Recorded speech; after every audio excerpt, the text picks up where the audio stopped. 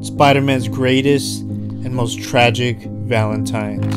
Peter starts to reminisce and he busts out the tape recorder. A message that he will leave his first true love, the love he could not save.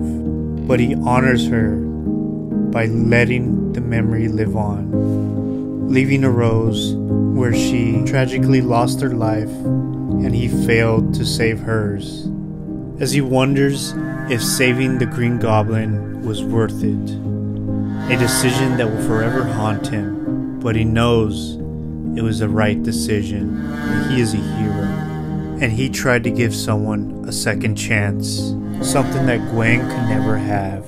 As he looks back to the time that he had with her, but Spider Man's life always got in the way, even directly.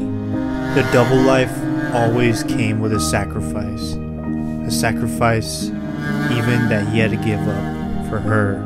His responsibility always came first, and even though that responsibility always put others in harm's way, especially himself. But luckily, she was always there to care for him. She always had that tender and subtle care about her and the way she approached him. But he always had a feeling that she might have known earlier that he was Spider Man. And every Valentine's Day, he remembers her as he remembers the time that she asked him to be her Valentine. Just as he finishes his cassette, he hears Mary Jane walk in as she tells him, Can you say goodbye for me too? As Gwen will always be his biggest regret.